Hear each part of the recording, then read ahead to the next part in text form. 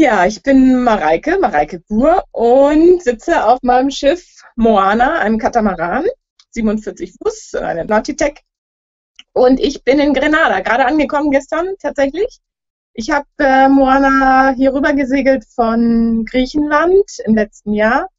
Und jetzt, ja, seit einem halben Jahr bin ich in der Karibik und äh, hangel mich so von Quarantäne zu Quarantäne momentan. Also ich bin tatsächlich seit drei Monaten jetzt ganz alleine an Bord. Normalerweise kommen Leute, um mit mir segeln zu gehen. Und äh, seit drei Monaten ist gar nichts mehr möglich. Das heißt, wir hocken alle auf unseren Schiffen. Und die meisten Leute sind zwar zu zweit, ich bin alleine, aber man tauscht sich hauptsächlich über Funk aus, wenn man sich nicht sehen darf. Und das ist immer mal wieder der Fall. Die ersten zwei Monate sowieso, da war ich in Antigua, also ein bisschen nördlich von hier.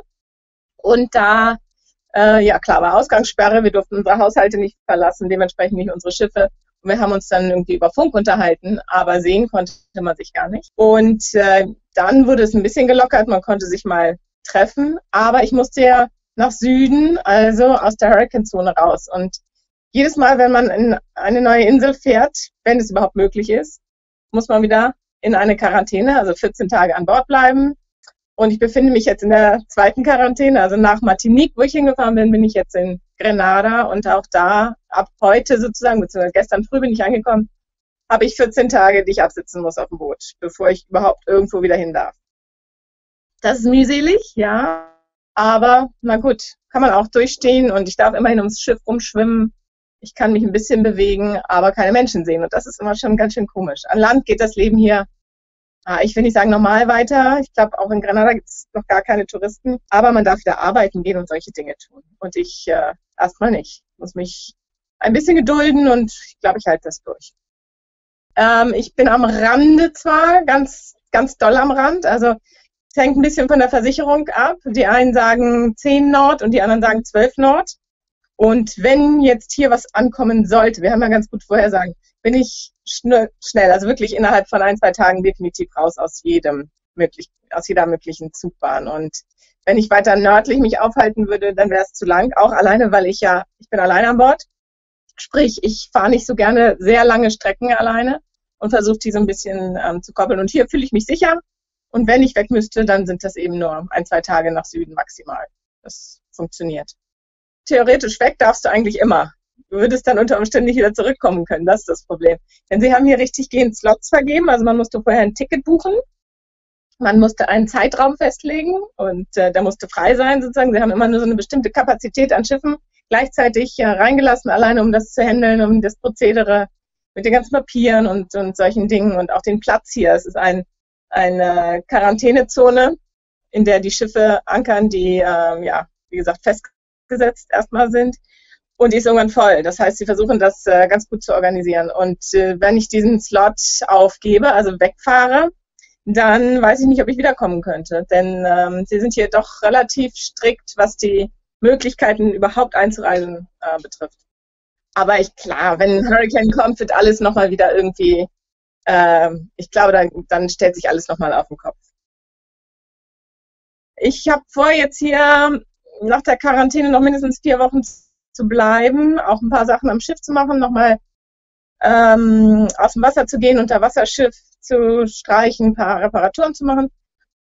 Und dann nach Curaçao weiter. Das ist auch ein sehr sicheres Gebiet. Da gibt es hoffentlich wieder Flüge. Und das ist für mich existenziell, denn ich habe jetzt seit drei Monaten keinerlei Einnahmen, keine Leute können kommen. Äh, ich verschartere normalerweise und freue mich, wenn Leute an Bord kommen. Äh, aber man muss erstmal Flüge haben, damit das möglich ist. Und äh, in Curaçao ist das ein bisschen wahrscheinlicher. Hier sieht es noch ziemlich schlecht aus momentan. Ja, und das wird der Sommer sein. Dann hoffe ich, dass es im Herbst äh, spätestens zur nächsten normalen Saison, also so Ende November, wieder voll losgeht. Aber auch da sind die Ansagen sehr unterschiedlich. Wir wissen das alles nicht. Geduld, Geduld. Stefan Hausland, bin 52 Jahre alt, arbeite als Skipper, bin aktuell in Curaçao, bin ursprünglich im Mitte Dezember nach Kuba geflogen, um dort die Yacht zu übernehmen für Charterfahrten und sollte dann Anfang März dann als letzte Tour die Yacht von, von Kuba aus nach äh, St. Martin bringen. Und ähm, ja, und dann dort äh, wäre ein neuer Skipper gekommen mit einer neuen Crew für die Atlantiküberquerung. Und ähm, als ich dann in der Dominikanischen Republik Zwischenstopp gemacht habe, kam schon die Meldung, St. Martin hat die Grenzen zugemacht. Wir sollen erst einmal warten. Und ja, dann sind äh, kurz danach die Grenzen hier auch zugegangen in der Dominikanischen Republik. Und die Crews dann mit den Evakuierungsfliegern zurückgeflogen und ich habe halt ähm, wochenlang alleine in der Bucht gelegen und habe dann halt die Yacht gemacht.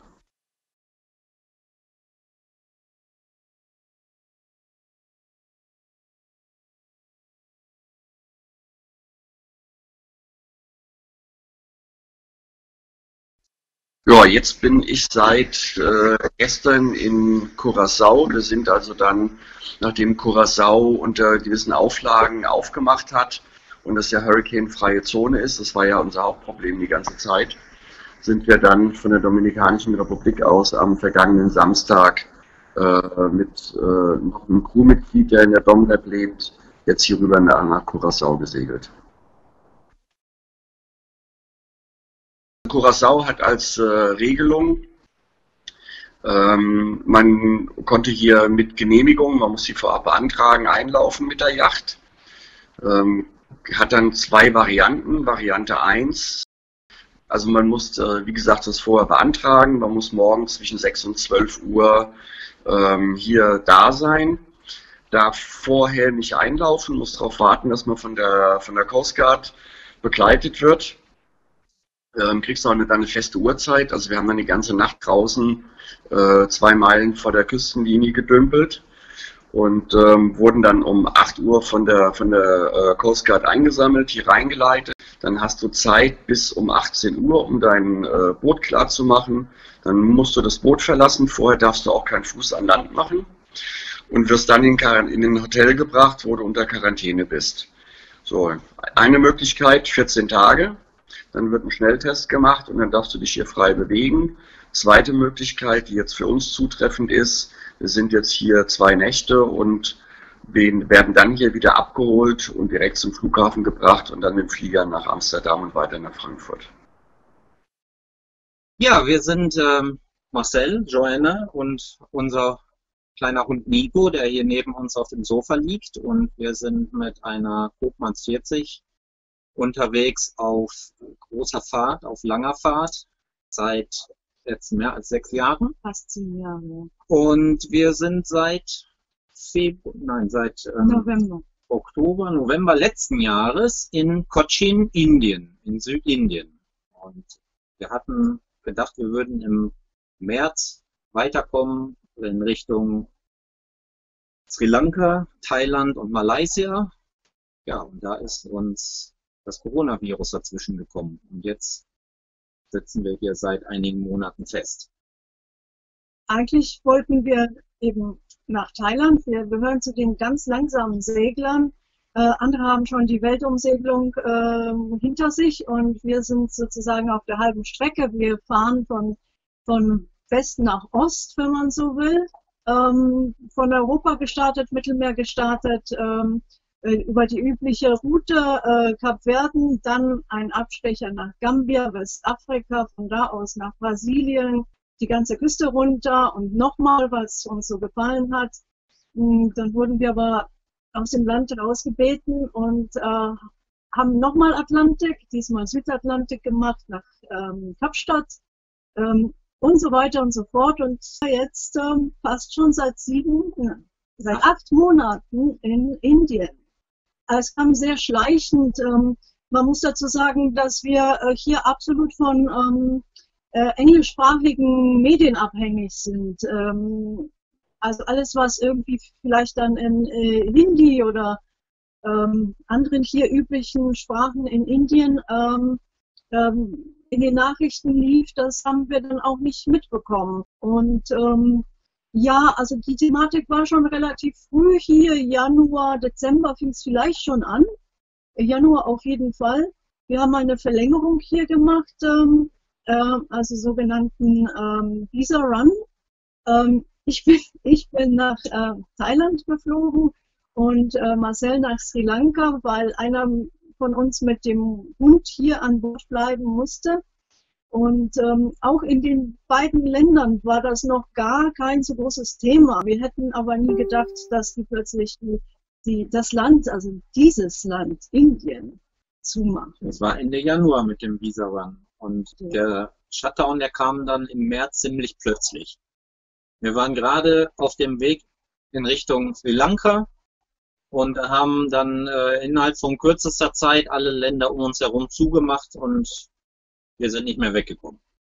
Ja, also es gab, es gab einen ungefähr 90-tägigen, würde ich sagen, 90-tägigen äh, sehr strengen Lockdown. Und mittlerweile ist äh, fast wieder Normalität eingetreten, obwohl die Fallzahlen äh, jetzt deutlich steigen. Ja, das ist äh, natürlich alles eine Frage der offiziellen Zahlen, inwieweit man äh, diesen Zahlen überhaupt Glauben schenken darf, ähm, kann. Ähm, für uns war, war der, der Lockdown ähm, erstmal ein, äh, ein, ein, Schock, weil ähm, wir sind auf einer innerstädtischen Insel, die ist, hat nur eine Brückenverbindung ähm, mit dem Festland und die Brücke wurde abgesperrt vom, vom, von der Polizei, ähm, abgesperrt. Ähm, es durfte hier keiner drauf, also auch keine Lieferanten. Und wir durften nicht raus, also wir als Ausländer speziell, alle anderen Inder durften eben hm, zum Einkaufen in bestimmte Geschäfte. Und uns wurde das von heute auf morgen verboten, aber es gab auch gar keine andere Regelung, wie wir uns äh, selbst ähm, sonst versorgen könnten. Und insofern waren wir die ersten ein, zwei Wochen so ein bisschen unter Schock. Und ich habe auch ähm, Deutsche Botschaft ähm, angemailt und ein Konsulat, aber bis die reagiert haben, haben wir uns selbst gefunden. Und ähm, die angebotenen Flüge konnten wir nicht in, ähm, äh, ähm, in Anspruch nehmen, da wieder der, der, der, unser, unser Hund eben das Problem darstellt, da die äh, Fluglinien keine Haustiere mitnehmen wollten. Ihre Pläne ändern sich äh, im Moment von Woche zu Woche.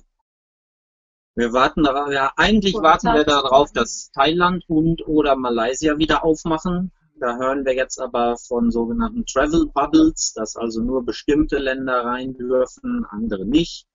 Und da wird Indien mit Sicherheit äh, zunächst nicht dazu gehören. Wir ähm, bereiten uns mental etwas darauf vor, im November durchs Rote Meer ins Mittelmeer zurückzukehren, weil wir davon ausgehen, dass diese ganze Situation sich noch für 12 bis 24 Monate hinziehen wird, dass das Reisen nicht ganz so einfach ist, wie es noch äh, ja, zu Anfang des Jahres war. Das kann durchaus passieren, dass ähm, nach der Wiederaufnahme der internationalen Flugverbindungen man uns dazu drängt, äh, das Land äh, zu verlassen. Äh, wenn das so sein sollte, dann hätten wir noch die Option, wieder nach Ostafrika zurückzusegeln. Tansania lässt Segler rein. Wir hätten die Option, nach ähm, eventuell Mayotte. nach Mayotte zu segeln oder auch nach äh, La Réunion, wobei da die die äh, Zyklonsaison dann wieder anfängt. Das ist also keine äh, wirklich gute Option. Insofern wird dann vermutlich die einzige Möglichkeit also wir sprechen jetzt, ja, ja, wir sprechen, wir kennen diese Länder, wir kommen ja daher, das ist unsere Strecke gewesen bis Indien auf dem Weg nach, nach Thailand oder Indonesien. Insofern kennen wir diese Länder durchaus. Ähm, wir sind ein bisschen, um ehrlich zu sein, momentan noch äh, seit äh, ein paar Tagen sehr geknickt, denn ähm, Seychellen, das ist ähm, von uns ähm, nicht allzu weit und es äh, liegt in einem sicheren Gewässer. Also wir haben dort nicht mit Zyklonen zu befürchten oder anders unangenehmen Starkwinden. Ähm, Seychellen hat für Segler die Grenzen aufgemacht mit bestimmten Auflagen. Man muss sich vorab dort bewerben um eine Aufnahme, um eine Genehmigung. Ähm, das haben wir getan. Wir wurden ja sozusagen von den ähm, von bestimmten Behörden angenommen und das hörte sich alles sehr gut an. Wir wollten aber diesmal wirklich alles nach Vorschrift und alles richtig machen und haben unseren Bordhund Nico angemeldet mit allen erdenklichen ähm, äh, Zertifikaten und ähm, Impfungen von europäischen Impfpass, lückenlos und so weiter und so fort. und haben dann äh, zwei Tage später einen äh, Negativbescheid beziehungsweise eine Ablehnung ähm, bekommen. Wir konnten es einfach nicht glauben, dass in so einem in so einer Phase, beziehungsweise wir haben gehofft, dass es vielleicht ein Gespräch, eine Vermittlung gibt seitens des ähm, Konsulats. Ähm, dort haben wir aber eine sehr knappe Antwort bekommen, dass äh, die wiederum uns nur auf die Gesetzeslage verwiesen hat ähm, und äh, man sah keinen Handlungsspielraum ähm, dort für, für uns einzusetzen. Ja, mein Name ist Martin Daldo, aber die meisten kennen mich wahrscheinlich eher unter M. Jumbo. Ja, Im Moment bin ich hier in den Niederlanden, in Seeland, auf meiner Segelyacht hier auf der Jumbo. Das ist eine Bavaria 34 Holiday.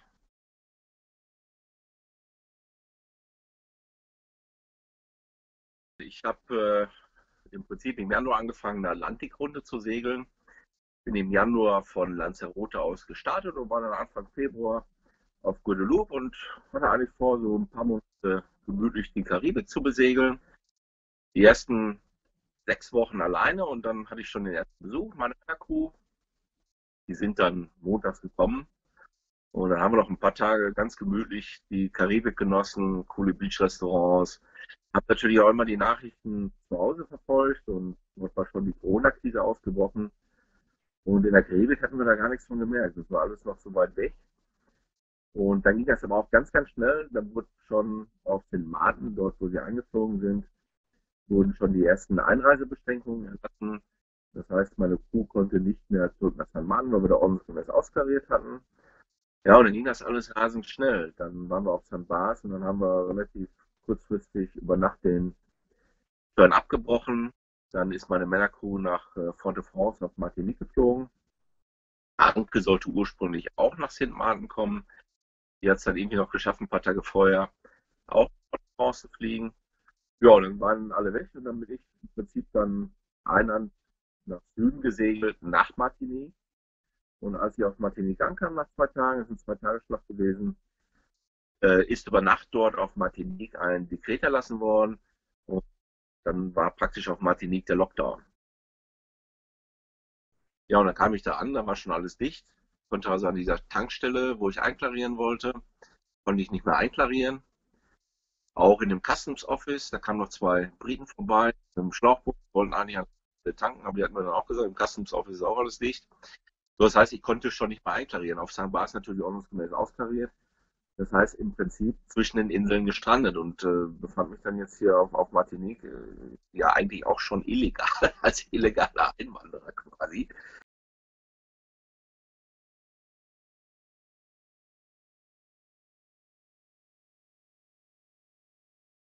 Ja, Anke, die ja ein paar Tage vorher gelandet ist, die ist dann mit der Vermieterin mit dem Auto gekommen. Die hatten dann noch vorher angekauft. Im Supermarkt, die natürlich alle gestürmt waren, weil jeder Sorge hatte, dass es in ein paar Tagen nichts mehr gibt. Die hatte noch das Notwendigste dann an Lebensmitteln gekauft.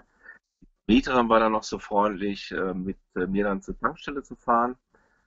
Und dann habe ich wenigstens die Dieselkanister nochmal gefüllt, dass ich, dass ich Diesel hatte. Ja, das war so ein bisschen surreal alles. Äh, so ein ganz klein bisschen Endzeitstimmung und dann waren Anke und ich dann auf dem Boot und sind dann nur rausgefahren und dann wusste man quasi gar nicht, wie es weitergeht. Wir hatten dann von den Briten noch gehört, dass irgendwie in Stand-An und Le auf Martinique das Einklarieren noch möglich sei. Sind dann abends dann bis dann an zur Bucht gefahren und äh, haben den Anker fallen lassen, völlig fertig, völlig müde haben abends noch Nudeln mit Tomatensauce schnell gegessen und dann waren wir auch, wir waren so platt, ich, ich natürlich auch von dieser Einlandfahrt noch äh, runter zwei Nächte durch. Ja, und am nächsten Morgen habe ich dann nochmal mit den Briten telefoniert. In La Mareux konnte man auch noch einkarieren, haben sie gesagt. Ja, ich dann zur Tankstelle gefahren, ist nochmal weiter Diesel gebunkert und Wasser gebunkert. Auch nochmal Campinggasflaschen zwei gekauft, dass wir irgendwie unabhängig waren. Die konnte man nämlich da auch kaufen. Ja, und dann äh, sprach man mit Dänen, glaube ich, nee, Quatsch, Schweizer waren das. Da waren noch Schweizer, die hatten gesagt, ja, hier könnte man äh, in dem äh, Hafenoffice könnte man auch noch einklarieren. Da bin ich dann natürlich anschließend auch sofort hin, bin dann hoch und äh, hatten die schon, schon die, die Türen dazu, dann stand schon jemand mit einer Maske auf und äh, guckte noch raus und äh, fragte mich, was ich denn wohl wollte. Und ich sagte Customs Clearance und dann nickt er nur so. Ja, dann haben wir erstmal durchgeatmet, wenigstens wieder irgendwo einklarieren konnten. Ansonsten, äh, denn eine Insel nach der anderen hatte dann, dann dicht gemacht. Und wie gesagt, das ist ja relativ schnell alles passiert. Eine Insel nach der anderen machte dicht und das war alles im Vorrat. Innerhalb von einer Woche vorher hat man noch gedacht, alles gut. Wir sind so ein bisschen außen vor in der Karibik, aber dann hat uns das ganz, ganz hart schnell eingeholt. So, dann haben wir da einklariert und dann waren wir auf Martinique dann. Ich glaube, insgesamt haben wir dort acht Wochen geankert. Anke war fünf Wochen dort. Viel machen konnte man nicht. Aber das Gute war, wir konnten einkaufen. Die Tankstelle war immer offen. Das heißt, wir konnten auch immer Wasser dort bekommen. Äh, Frischwasser. Und äh, wie gesagt, Supermärkte waren immer offen. Das war zwar sehr reglementiert. Das heißt, die Anzahl Menschen, die dort in den Supermarkt reinkamen, war begrenzt. Es waren auch immer vor diesem sogenannten Leader Price auf Martinique, waren auch immer sehr lange Schlangen. Das heißt, wenn ich da eingekauft habe, habe ich anderthalb Stunden gewartet. Und das alles zu einer Phase, wo es in Deutschland eigentlich noch relativ locker war. Ja, und in Supermärkten hatten die tatsächlich dann alle schon Maskenpflicht. Äh, die Laufbänder wurden nach jedem Kunden sauber gemacht, das heißt, äh, unheimlich viel desinfiziert. Das Gute war, die Regale waren tatsächlich die knappe Zeit, die ich dort vor Anker in, auf Martinique dort gelegen habe waren die Regale immer voll, denn, das haben wir hinterher auch rausgefunden, das Geheimnis war, die waren eigentlich auf viele äh, Chartergäste gerichtet, denn Le Marin ist eine große Charterbasis und dort lief dann erstmal die Nachschubwelle und dadurch, dass die Chartergäste ausgeblieben sind, waren die Regale immer voll. Ja, wir hatten uns dann nach einer Woche Le Marin nach Saint-Anne verlegt und haben dort geankert und haben dann gemeinsam, Anke und ich, die fünf Wochen da verbracht. Hat natürlich auch ein paar andere Deutsche um uns herum, mit denen man ab und zu mal quatschen konnte. Natürlich alles aus der Distanz heraus. Die Franzosen haben auch sehr stark kontrolliert dort. Das heißt, da flog täglich auch der Hubschrauber zweimal über diese Bucht hinweg. An Land äh, war dann auch die Gendarmerie, die regelmäßig kontrolliert hatte. Man konnte sich an Land bewegen für eine Stunde am Tag. Man musste sich selber eine sogenannte Ausgebescheinigung ausstellen. Das war aber alles relativ unproblematisch. Und wie gesagt, die Supermärkte waren auch offen. Restaurants zum Schluss zumindest Takeaway, das heißt, man konnte was bestellen. Das Schöne war in dieser Bucht von St. Anne, kam morgens immer ein Boot vorbei und die brachten immer frische Baguettes und auch Früchte. Und äh, das, das war total klasse. Also, wir haben das Beste aus der Zeit dort gemacht, bis Anke dann ihren Rückflug hatte. Ja, und dann habe ich quasi schon angefangen, auch die Rückfahrt aus der Karibik nach Europa vorzubereiten und bin am 10. Mai dort gestartet. So, jetzt war es natürlich so, dass ich meinen ursprünglichen Plan nicht mehr umsetzen konnte. Denn eigentlich wollte ich zu Azoren segeln. Dort sollte Anke dann nochmal kommen und mich dort besuchen. Und wir wollten ganz gemütlich zwei Wochen die Azoren dort äh, besegeln. Und anschließend wollte ich dann weiter durch den englischen Kanal, wollten wir nochmal die englischen Kanalinseln anschauen und hatte dort auch nochmal so zwei Monate eingeplant für eine ganz gemütliche Rückfahrt. So, das war jetzt alles nicht mehr möglich äh, zum damaligen Zeitpunkt noch starke Einreitbeschränkungen auf den Azoren. Deshalb selbst Segler, die ja nachweislich ja, auf See in, in, Quarantäne gewesen sind, denn zu den fährt man auch so drei bis vier Wochen, mussten dort in Quarantäne, durften nicht an Land auf Horta. Und ich hatte mir überlegt, soll ich mir das antun, jetzt zu den zu segeln und dann im Prinzip nur ja, Diesel, Wasser und Proviant bunkern und hatte mir überlegt, dass ich eigentlich die Azoren auslassen möchte, weil es ja halt auch schon unwahrscheinlich war, dass Anke dann zu den fliegen konnte. Ja, und habe das Boot dann soweit verproviantiert und fertig gemacht, dass ich äh, unter Umständen auch nonstop von der Karibik aus nach Deutschland segeln konnte. Ja, das habe ich letztendlich dann auch so gemacht und das war auch richtig, denn kurz drauf hatten auch die britischen Inseln eine Quarantäne verhängt. Da kam man dann auch nicht mehr so rein. Selbst im Transit ist das nicht mehr ganz so einfach gewesen. Ja, und dann bin ich quasi von Martinique nach Helgoland nonstop gefahren. Das waren dann 42 Tage und 5130 Seemeilen. Ja, bin jetzt vor kurzem am 21. Juni auf Helgoland angekommen. Super Fahrt gewesen. Ich habe die sogenannte Großkreisroute gewählt. Und die Großkreisroute hat drei Zweige. Da gibt es einmal den südlichen Zweig, der geht zum Ärmelkanal, der mittlere Zweig nach Irland und der nördliche Zweig äh, oben um Schottland herum. Das ist eine klassische Segelroute, die von der Ostküste der USA und auch von Kanada aus nach Europa geht. Und das, ich hatte mich natürlich vorher informiert und wollte ganz gerne den nördlichen Zweig der Großkreisroute segeln, was ich dann auch gemacht habe. Ja, das war super spannend, insbesondere wenn man 44 Breitengrade überquert, also von, von Martinique aus am südlichsten Punkt bis rauf im Norden von Schottland.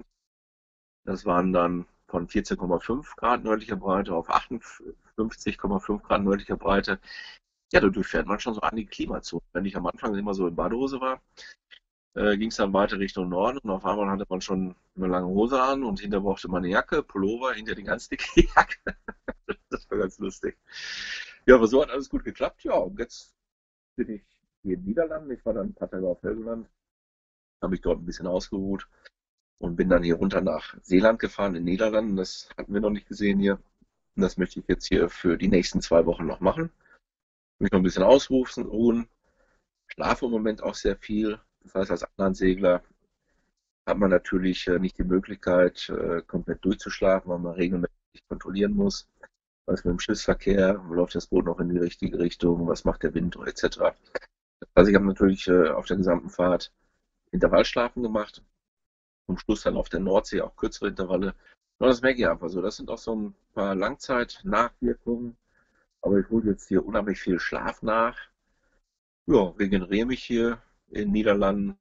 Werde nächste Woche hier ein bisschen rumfahren, mir ein bisschen Seeland anschauen. Ist ja sehr, sehr schön hier, was wir bisher schon gesehen haben. Ja, so ist also der Stand der Dinge im Moment.